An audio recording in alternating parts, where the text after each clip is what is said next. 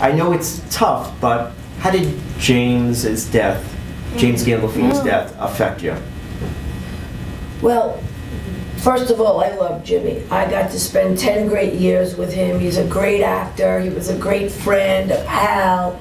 Um, it was a family. Sopranos was a big family. Uh, I knew his dad, he knew my parents. We, we, we, we shared a huge amount of time together.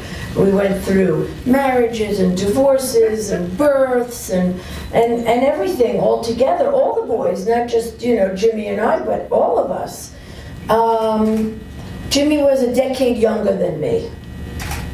So after losing my parents, and then almost a year later losing Jimmy, um, I really said I'm, I'm, I'm going to get control of myself, of my health. And that's what I owe myself to my children and my grandchildren. I want to be around. It's brilliant. I'm not dead yet.